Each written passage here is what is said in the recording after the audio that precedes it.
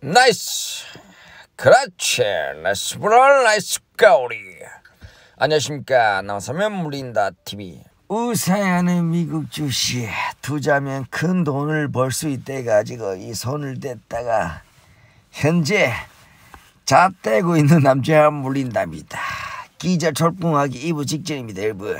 현재 시간 다 10분. 그래도 자고 일났는데 큰 폭으로 상승을 해가지고 기분이 좋습니다 여러분 자 오늘 3대 지수는 큰 폭으로 상승했습니다. 다우존스 0.72 상승했고요. 나스닥은 1.27 상승으로 마감을 했습니다. S&P 500은 1.06 상승했고요. 필라델피아 반도체 지수는 0.34 상승으로 마감했습니다. 자 오늘 4대 지수가 상승을 할 수 있었던 가장 큰 이유는 바로 내일 CPI 지수 발표 때문입니다. 여러분 9시 30분에 발표를 합니다. 예측치는 8.1인데요. 이 8.1보다 아, 낮게 넣으면 한 7점대로 넣으면 주가가 다시 크게 상승할 거고요. 8.1보다 높게 넣으면 주가는 다시 하락으로 할 수도 있습니다, 여러분. 그래도 긍정적으로 생각하면 인플레이션은 최고점을 찍고 지금은 하락을 하고 있다. 이거는 누구도 부인할 수 없는 사실입니다, 여러분. 역시 상승을 해야지. 밥맛이 좋고 오늘 하루 일과가 좋은 거 아닙니까? 자, FOMC 4.5 상승, 아, 라스, 불안 라스 가오리. 그렇지. 아직 단기적으로 좀 올랐지만 아직까지 멀었다. stochastics로 여기까지 올라야 한다고 보고 있고요. 자, CPI 지수를 기대하고 있습니다.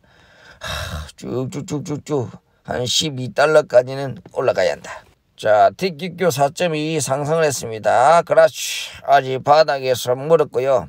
이 뭐 조금 하나 둘 셋 넷 5일 정도 올랐습니다 여러분 자 빠졌던 만큼 빨리 회복 어, 되돌림이 있을 거라고 보고 있습니다 이 되돌림을 하기 위해서는 CPI 지수 오늘 발표가 제일 중요하죠 고점 대비 66% 계속 종고를 하세요 자 BOLZ 3.12 하네스 크라치 자, 하지만 고점 대비 87% 저는 평단가 19달러고요 아직 한참 멀었습니다, 여러분. 어, 뭐, 단기적으로 오늘 발표가 중요하게 생각하고 있지만, 토케티슬로 향세까지 올라올 거 생각하고 있고요. 저는 그래도 6달러까지는 금방 회복하지 않겠나 저는 생각하고 있습니다. 자, BNKU 한번 봅시다. 2% 상승. 아직까지 바닥에서 쭉쭉 올라오는 모습. 아직까지 매도할 타이밍이 아니다. 고점 대비 59%. 금리 인상 나는데 비행기에도 이 전고점 단기 고점을 어, 뚫을 거라고 저는 보고 있습니다, 여러분.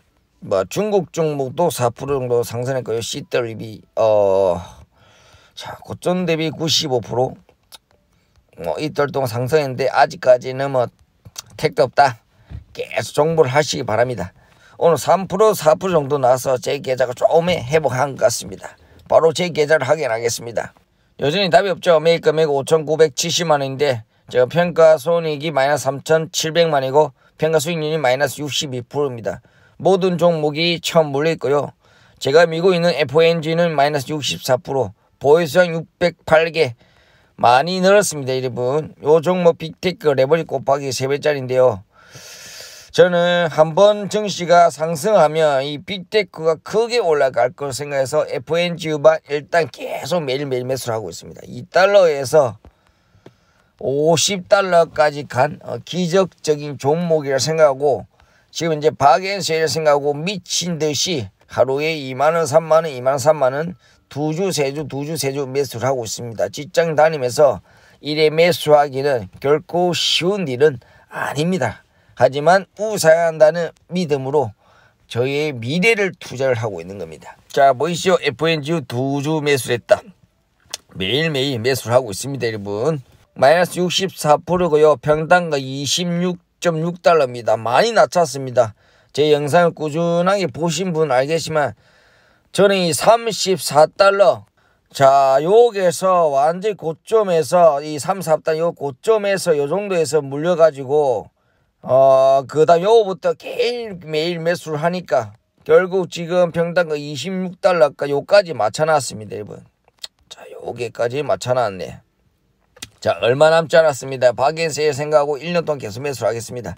자, 국제 유가를 체크해 봐야죠. 87.94.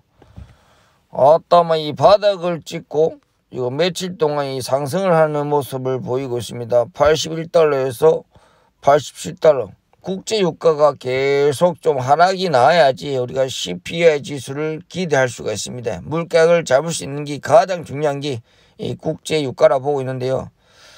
그래도 국제 유가는 지금 하락 추세라고 보고 있습니다. 요게 제 생각에는 90달러 아래인데 이 90달러를 맞고 다시 쭉쭉 밑으로 내려갈 겁니다, 여러분. 지금 달러 가격도 계속 올라가고 있고 그 다음에 금 인상을 너무 세게 0.75를 계속 하고 있으니까 경기 침체가 올 거라고 생각하고 지금 중국도 좋은 상태가 아니고 세계적으로 지금 경기가 너무 어렵기 때문에 이 수요가 WTI 수요가 감소할 것으로 보고 있고요. 그렇기 때문에 지금 제가 생각하는 어, 국제 유가는 한 70달러까지 내려가지 않겠나 저는 보고 있습니다, 여러분. 제 개인적인 생각입니다. 오늘 10년물 국제금리는 3.35입니다, 여러분. 이 10년물 국제금리가 내려가 줘야지 증시가 상승을 할 수 있습니다. 오늘 상승이 나왔다 해가지고 제 계좌는 뭐 티가 나지 않습니다. 마이너스 62% 마이너스 70%까지 맞아봤는데 62%뭐 회복이 조금 됐다고 생각하고 있고요. 저는 장기 투자를 하고 있으니까 지금 좋은 기회라 생각하고 있고 그래 지금 현재는 박앤세이다. 나는 큰 부자가 될 수 있다. 긍정적으로 마음으로 계속 중매를 합니다. 왜? 상승장이 더 오래 지속으로 더 기니까. 오늘 CPI 지수가 제발 한 7.9% 정도 떨어지길 바랄 뿐이고요. 저는 예상합니다. 7.8 예상합니다. CPI 지수 7.8 자 오늘도 제 영상이 정말 도움이 되셨다면 구독과 좋아요 알람 설정 부탁드립니다. 함께 하니까 든든합니다 구독자 여러분 감사합니다.